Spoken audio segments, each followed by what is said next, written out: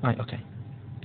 Stiamo facendo un tentativo di registrare l'interfaccia dell'LG Optimus 3D con un altro LG Optimus 3D, lo praticheremo poi su YouTube, cercando di scoprire se si riesce a vedere l'effetto, effetto veramente notevole.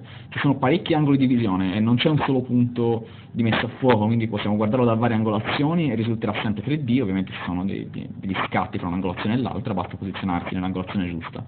Potrete quindi vedere gli effetti 3D anche insieme ai vostri amici